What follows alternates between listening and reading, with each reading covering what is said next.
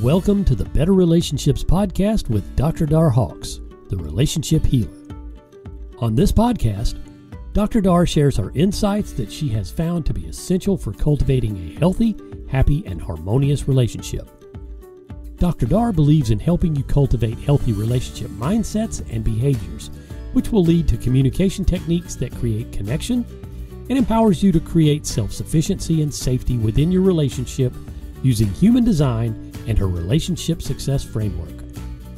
If you're curious where to begin to create better relationships and communication, Dr. Dar has created a quiz just for you at needs.drdarhawks.com. That's needs.drdarhawks.com. And now, here's Dr. Dar.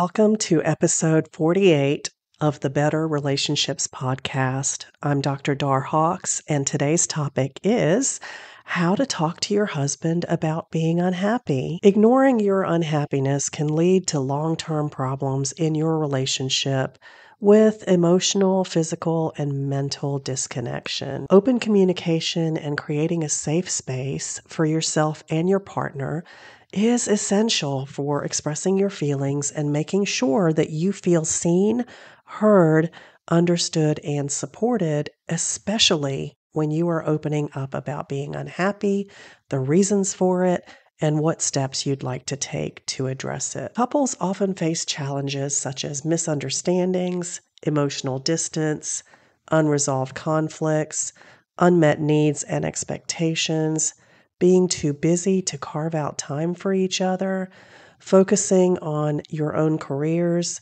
a lack of emotional maturity, and having these ideals in your head, these ideas and expectations, but not communicating them. When you are concerned about how to talk to your husband about being unhappy, it can create some of these challenges while also potentially making things worse in your relationship due to avoiding having this difficult conversation. Communicating your unhappiness in marriage requires emotional openness and honesty.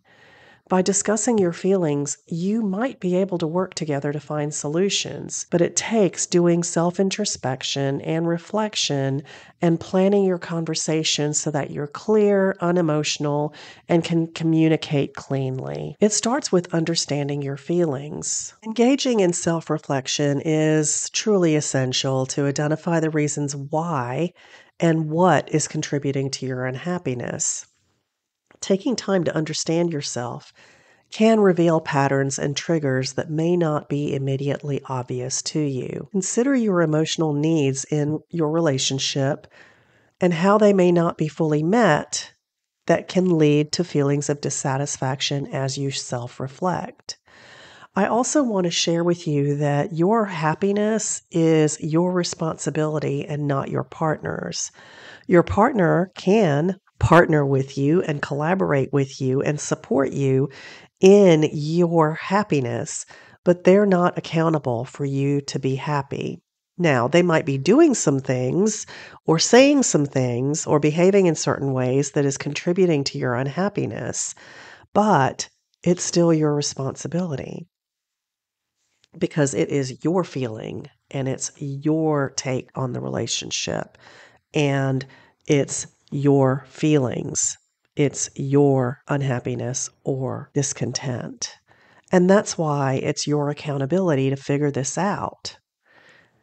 And then figure out what you need and want, and then communicate that and collaborate with your partner to see if you can work together to create a different scenario for you or a different experience for you. To start your self reflection journey, I invite you to start with my relationship check in quiz to help you sort through your feelings and pinpoint specific reasons for your unhappiness. The quiz will walk you through 15 different areas in a relationship, and there'll be statements for each area of a relationship that you can then self assess. It'll help you get your thoughts and feelings c- clear, and it'll help organize your thoughts and better be able to communicate how you're feeling. Recognizing your feelings is the first step before initiating a conversation with your husband. Self awareness plays a significant role in acknowledging your emotions. It will help you pinpoint the root causes of your lack of happiness.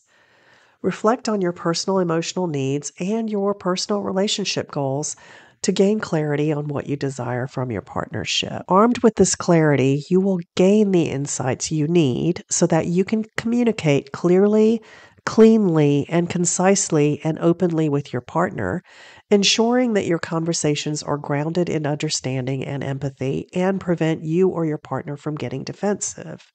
Using I statements when you're communicating will help you immensely in preventing defensive postures. This could also help in making sense of your of any conflict in your relationships and provide you with a path towards resolution instead of repetitive arguments. I also invite you to ask your partner to listen to you that you just need them to quietly listen. And before you have the conversation, ask them let them know I have something I want to speak with you about. I really need you to be in a space of listening, not trying to fix it, not interrupting me, and just sitting with your full attention and listening. When would be a good time for us to have this conversation? Here are some ways to build a constructive conversation environment. I had mentioned creating a safe environment earlier. Choosing the right environment is important to consider when discussing sensitive topics like marital dissatisfaction or just your own personal unhappiness. Opt for a calm and private setting where both you and your husband can feel safe to express yourselves openly. This could be during a quiet evening at home or a peaceful walk in the park. Your goal is to create an atmosphere conducive to honest and meaningful dialogue. Using I statements can significantly improve the quality of your conversation. For example, instead of saying, You never spend time with me, you might consider saying, I feel lonely when we don't spend time together. Or, I feel that we're so busy with our careers, that we're not making time for each other, could we schedule time together on a regular basis and show up for each other? One more comment I'd like to make about the example of you never spend time with me.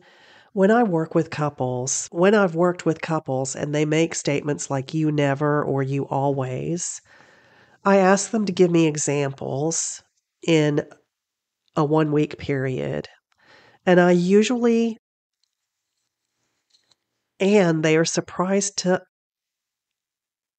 they are surprised to understand and see that it is not always and it is not never.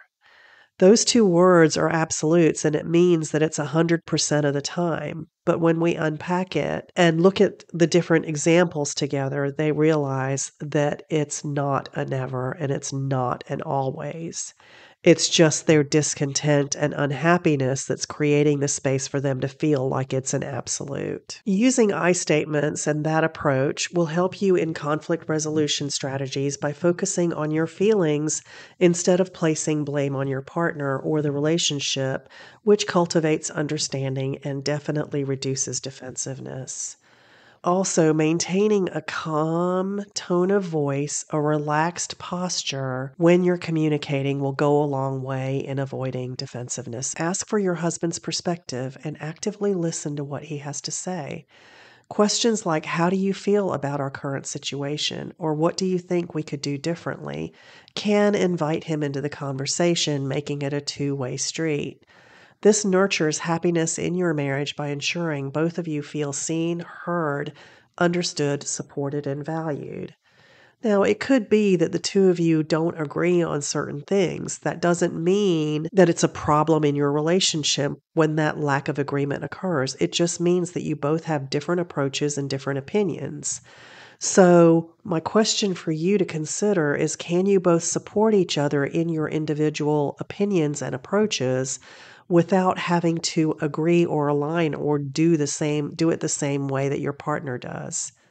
That would be the goal is to accept your differences which is what usually brings couples together to begin with but then creates problems later on when we're looking for support and belonging. The key is to respect each other's differences, accept them, and see whether you can collaborate with them collaborate through your differences so that it doesn't create fissures in your relationship. Staying objective is crucial for maintaining constructive conversations. Avoid judgment or attacks by sticking to factual observations about the issues that are affecting your happiness.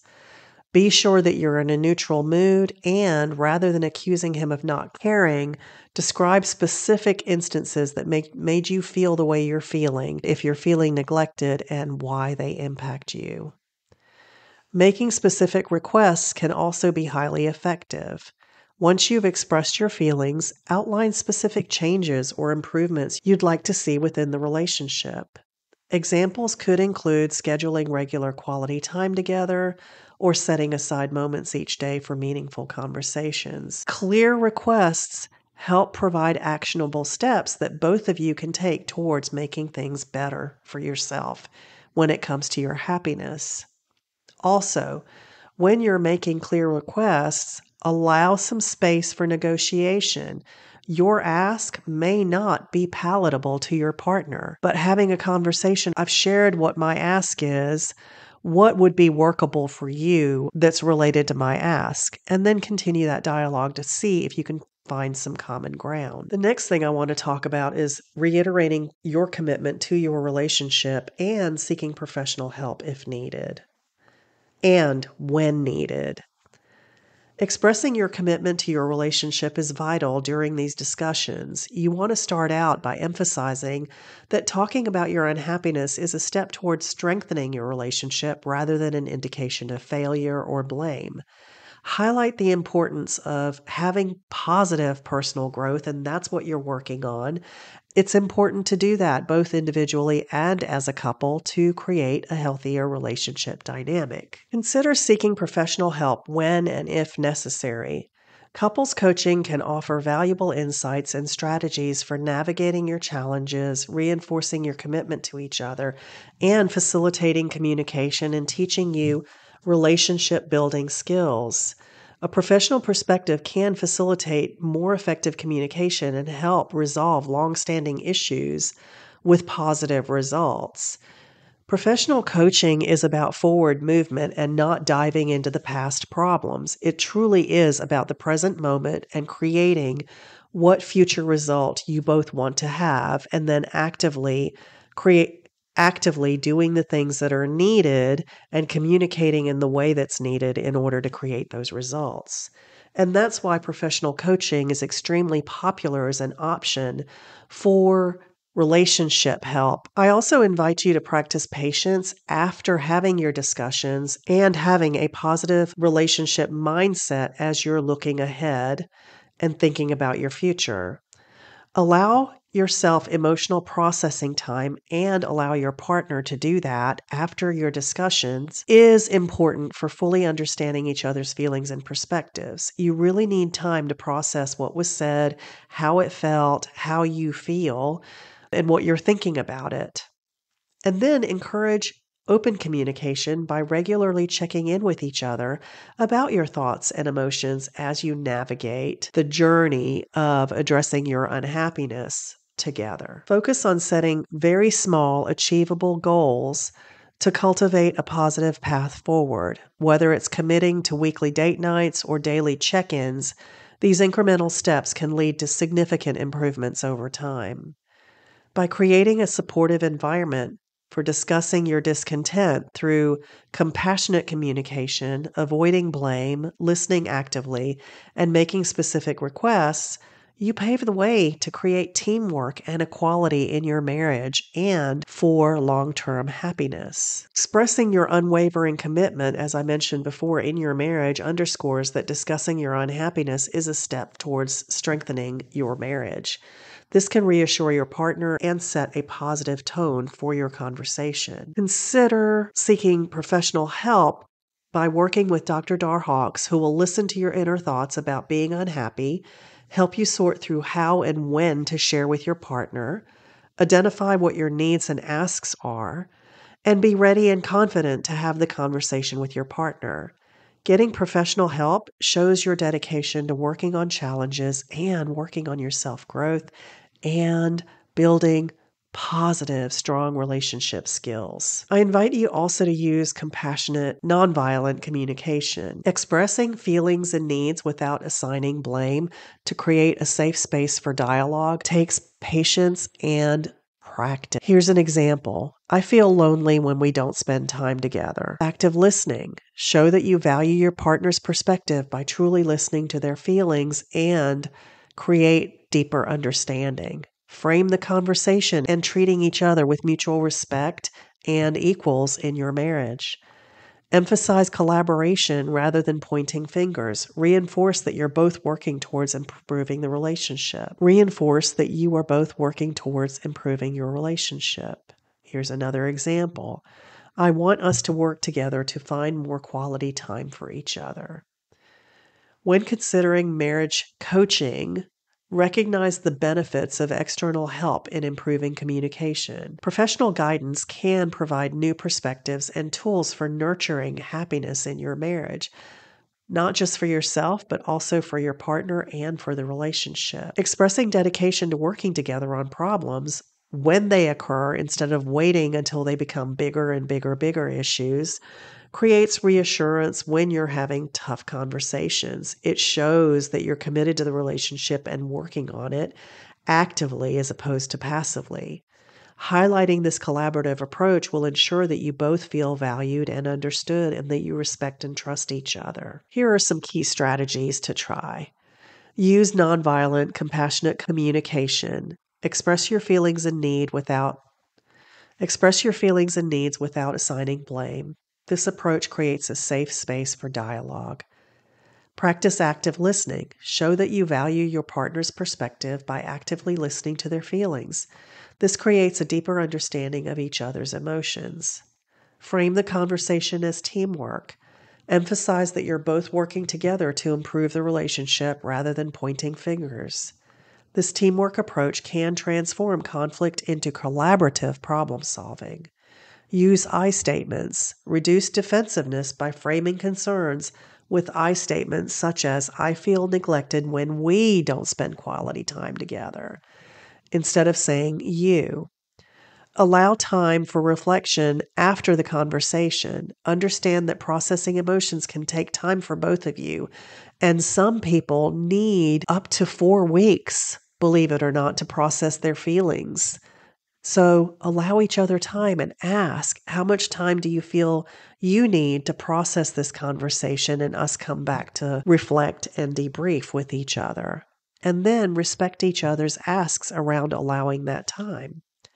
Encourage patience as well during that time that you're waiting to reconvene. Prioritize open communication consistently so that you can create an environment where you both feel heard, seen, understood, respected, and valued. Effective communication is a skill that takes practice, so don't be discouraged if it doesn't come naturally at first. The more you and your partner work on it together, the stronger your relationship will become. I also want you to know that you're not alone. As individuals, we've learned how to communicate with our families, with our coworkers, with our managers and other relationships. But we've never been we've never had the opportunity to practice communication with an intimate partner, and that is a whole different topic in and of itself. When we get into a relationship that's romantic, we have to learn that the communication skill is very different for that kind of relationship than that which we had with our families or at work, or even with our friends, to be honest. And so it does take learning new skills to communicate in your relationship. In addition to these general tips, it's important to acknowledge that every couple is unique and what works for you may not work for another.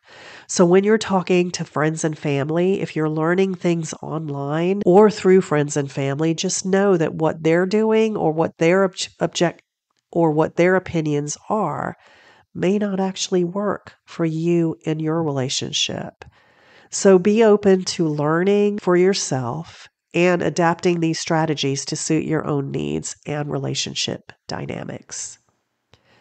A healthy and fulfilling marriage is built on a foundation of open and honest communication. Invest the time and effort into developing this essential relationship and communication skill to reap the rewards of a strong and lasting partnership. The clients that I work with have anxiety, sleepless nights, or spend time worrying about this thing that they need to talk about instead of really sitting down and planning out the conversation and getting support in forward movement. If you're in this space of thinking about a conversation and processing, I invite you to schedule a coaching session with me where we will Talk about your feelings so I can hear and understand the sources of your unhappiness and discontent.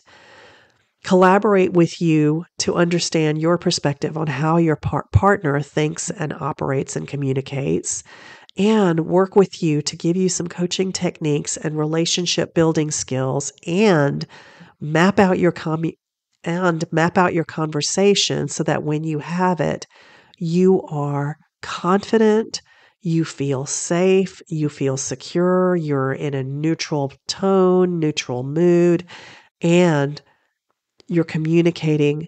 Even if you're feeling emotional in the moment, you're still communicating in a calm, confident way. I can help you do that. Instead of trying to do this on your own and sitting there figuring it out, jump on a call with me and let's quickly resolve this for you. You can do that by going to Huddle, H H U D D L E dot drdarhawks.com. That's huddle dot drdarhawks.com. I am here for you, and I look forward to connecting with you either in the huddle or in the next podcast. Thank you for tuning in to the Better Relationships Podcast. We'd love to hear from you Leave a quick review on iTunes. Subscribe to the Better Relationships podcast on your favorite platform and share it with friends and family. Take the primary relationship needs quiz at needs.drdarhawks.com to discover how your core relationship needs influence your interactions with your partner. That's needs.drdarhawks.com. For any questions, comments, or topics you'd like covered on the show, Feel free to DM Dr. Dar on Facebook at DRDARHAWKS1, that's Dr. Dar Hawks 1, or on Instagram and threads at dr.dar.hawks. Disclaimer The advice in this podcast is not a substitute for the professional medical advice, diagnosis, or treatment provided by licensed medical or mental health professionals.